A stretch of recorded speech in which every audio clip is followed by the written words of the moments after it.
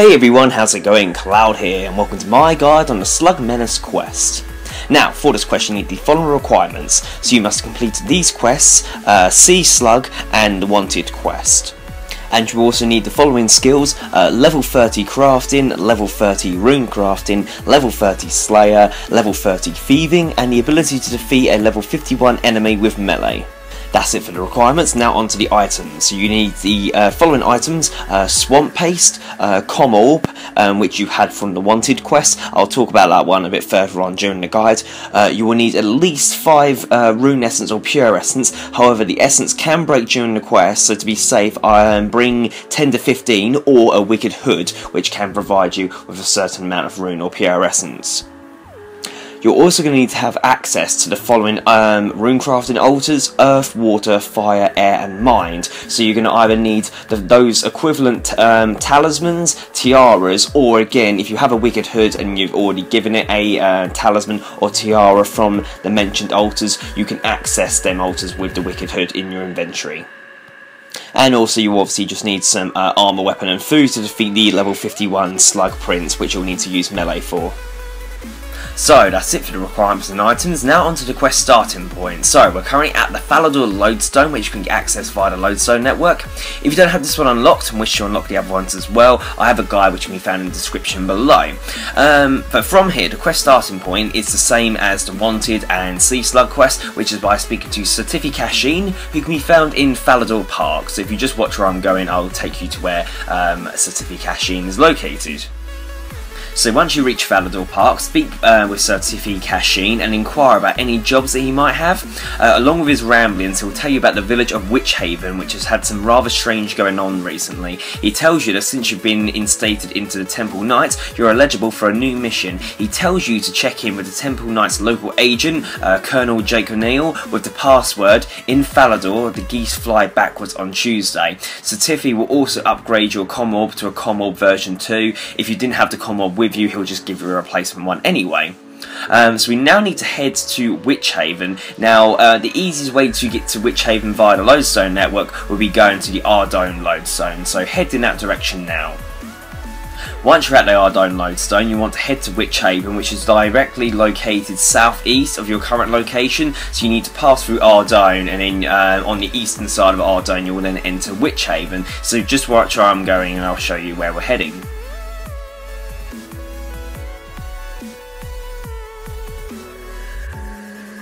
So once you're in Witchaven, you need to find Colonel Jake O'Niall rocking in a chair on the dock, which is in the northeast corner of the town. So you want to head over there, and talking to the retired member of the Temple Knights reveals that some of the villagers have started acting strangely since about three weeks, especially Mayor Eustace Hobb. He also tells you that some of them are dazed and in a confused state.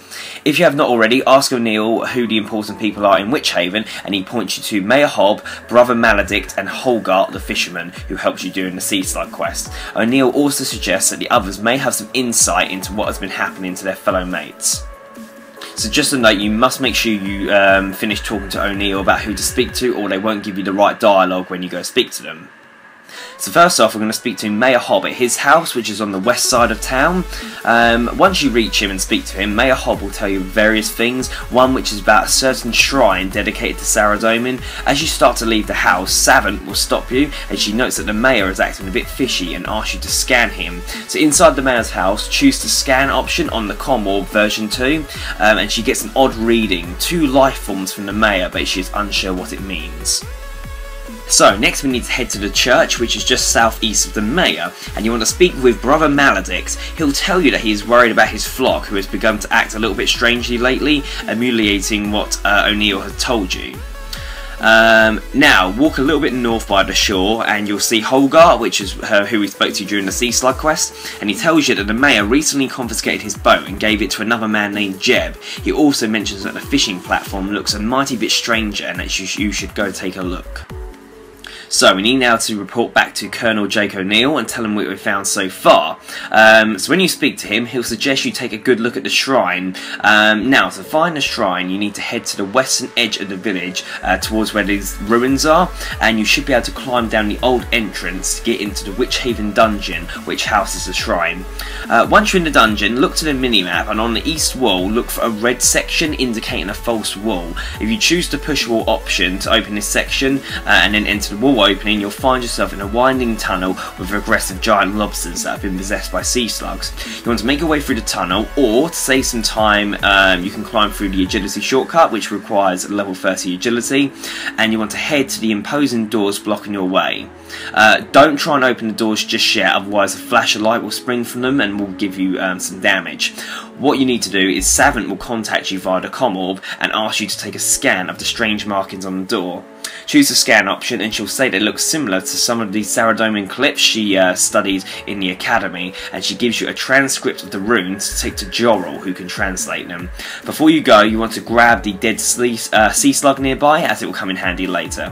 Savant contacts you about the slug you picked up and does a scan to analyse it. So we need to go find Jorral, who is located at the outpost. Now the quickest way to get there is to go to the Eagles Peak lodestone via the lodestone network. Once you arrive there, you want to keep heading in the southern-ish direction, and eventually you'll reach the outpost, which is northwest of West Ardougne and south of the Tree Gnome strongholds.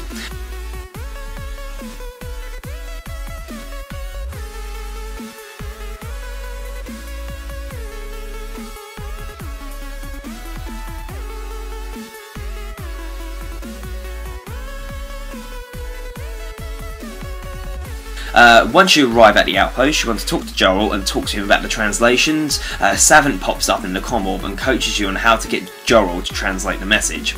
Eventually, Joel takes a look at the text and says it refers to a great battle between the Templar Saradomin and an evil creature called Maish Medron, or as she is most commonly called, the Mother Mallum. After Jorral is done, Savant contacts you again to catch up on what she's learned about Mother Mallum, and you want to then head back to uh, Witchaven again, um, so by going to the Ardougne Lodestone network and then heading to Witchaven like you did near the beginning, and I'll speak to you once you're there. So once you return to Witchaven, you want to go speak to uh, the Captain O'Niall again on the dock. And when you speak to him, he'll suggest you speak with Brother Maledict to see if he knows anything about Mallum. So you want to approach the church's door and you see a brief cutscene of the mayor leaving the chapel. When you enter the church, the priest is wobbling around looking rather ill and acting strangely. Talk to him about what is behind the imposing doors and you find that, um, sorry, you find he tells you he has a book that has information on how to keep Mother Mallum trapped, but someone has stolen three pages uh, to the shrine's history and you must recover them immediately. So, for the first page, you need to enter the mayor's house and search uh, his study desk to obtain the first page of the Holy Book. Uh, you then want to talk to Ezekiel Lovecraft, who is the owner of Lovecraft's Tackle Fishing Shop, which is south of the dock, uh, and you need to uh, talk to him to get the second page of the Holy Book. And to recover the last page, you want to talk to O'Niall again. He too has the same look as the other villagers. He strangely does not have the last page, which unfortunately has been ripped into pieces.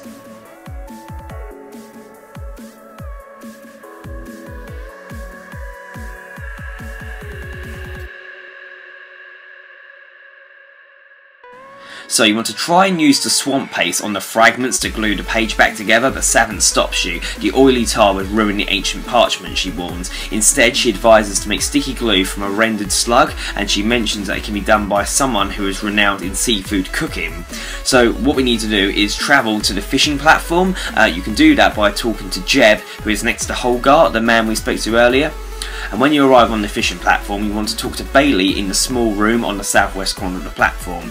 You want to hand in the dead slug you picked up earlier from the shrine, and in a few seconds he gives you sea slug glue you need, and finally use the glue on the fragments and the puzzle will pop up. So this bit is basically like a jigsaw puzzle. You need to move the three pieces of the page around using the controls over in the bottom right corner of your screen. You can use the arrows to move, rotate and even flip over fragments and you need to use the show and select buttons to choose which pieces to show and move each time. Now the easiest way to tell if you've got them all on the right side or not is that the correct side is lighter than the other. Um, what I'll do, I'll have the image paused uh, on the screen of what it needs to look like so then you can then move the pieces around until you get it into the correct order. So once you've got it on the same as what um, is on my screen and you've put the pieces in their correct place, the puzzle fragments will close automatically, forming the last page. Uh, you now want to talk to Jeb on the dock and have him take you back to Witchaven. So, this next bit, we need to create the um, blank different runes that I spoke about using the pages we now have. Now, if you right click, you can choose a shape option from the free pages to create a blank rune. Um, it is possible to fail shaping an essence and break it, um, and also it can break when you actually imbue it onto the rune crafting altar, um, which is why I said it would be handy to either bring spare rune essence or pure essence with you, or the Wicked Hood, which gives you a lot of rune essence uh, for each day. So you want to right click and get page 1 to turn uh, a shape into a blank earth rune and a blank air rune. You want to right click page 2 to construct a blank fire rune and a blank water rune and page 3 to construct a blank mind rune. Uh, like I said you can break um, each of those um, at different times so just um, keep repeating it until you get the um, correct versions and obviously if you need to acquire more rune or pure essence you can do so by whatever means is easiest for you. So once you've created all of the blank runes, we now need to take them to their associated altars uh, and use it on them. Uh, like I said, it is possible to break them when you imbue them, so it might be worthwhile bringing some spare essence along with you, just in case you have to reconstruct a certain one. So you need to take uh, obviously the blank earth rune to the earth altar, the blank air rune to the air altar, the blank fire rune to the fire altar, the blank water rune to the water altar, and the blank mind rune to the mind altar. Um, I will tell you what's the easiest way to go and obtain these all in terms of where the altars are actually located, and then you can do this in any order you want. So, the blank earth altar, I this will depend if you have the wicked hood or not. Now, if you have the wicked hood and you have the earth um, talisman imbued into it, I would advise teleporting to this altar, only because it's um, not very close to any other teleport locations. It will then take you directly to the earth altar, which is located just near the sawmill, the lumberyard. Now, if you can't do that uh, and need to walk, I would teleport to the Varrock lodestone and then keep heading in the northeast direction till you reach that altar.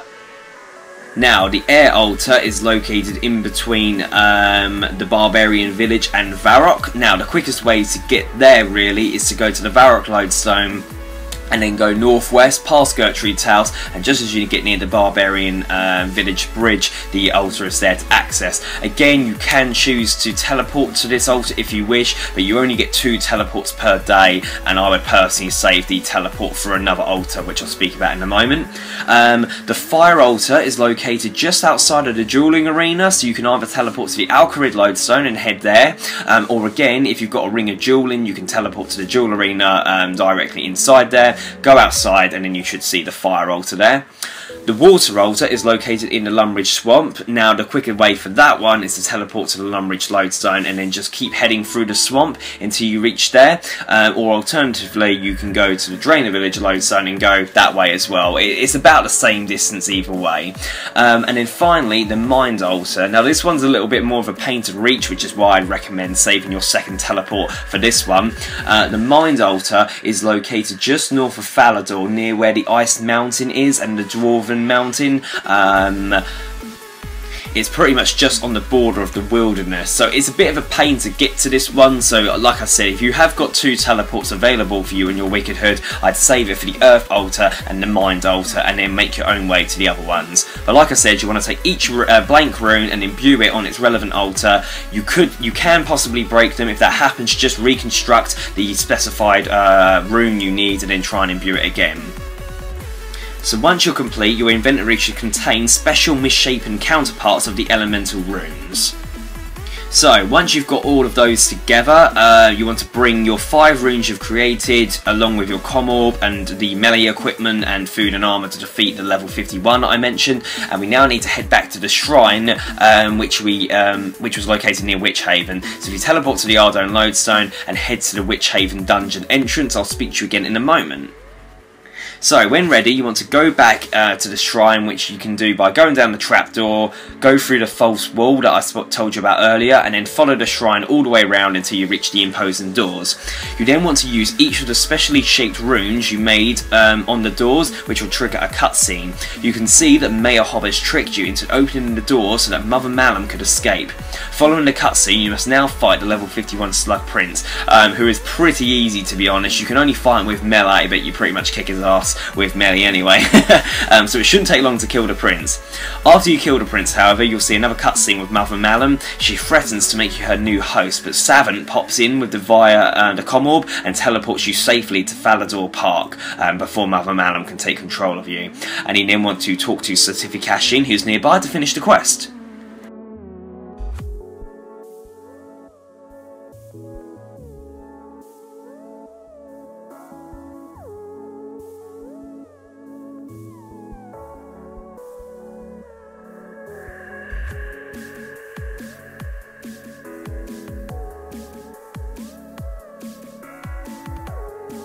So, once you finish speaking to him, it will come up, congratulations, you completed the Slug Menace quest. You're awarded 1 quest point, 3,500 experience in crafting, rune crafting and thieving, uh, 2 treasure hunter keys, 2 hearts of ice, and promotion to proselyte among the temple knights. This means you can buy and wear new temple knight armor with a greater defense bonus than initiate, um, and also gives you more prayer bonus I believe as well, and you can buy each piece individually or the armor pack from Sir Tiffy Cashien, or you can buy it from the Grand Exchange as well. So overall, not really a difficult quest, a lot of running around. Um, the only really annoying bit of this quest is when you're constructing the um, special runes, as it is quite possible to break them, especially if you've only got a minimum sort of crafting and rune crafting level. Um, the higher you've got, the less likely you are to break them. Um, but the boss isn't exactly difficult, and the reward is pretty good in terms of experience, but also the proselyte armor is very handy. So if you're one of these um, players who like to fight monsters by using a lot of prayer to support you, this is the best sort of armor to be using as it gives you quite a good defense as well as a massive prayer uh, boost as well. Um, and also this quest is um, to unlock the sequel quest, uh, part of the Slug uh, quest series. Uh, but yeah, I don't think you'll run into any problems following my guide. However, if you do get stuck at all, leave a comment in the comment section below and I'll help you out as best I can. If not, thank you for watching. Please make sure you like, favourite, comment, subscribe, and don't forget to share with your friends. Cheers guys, bye bye.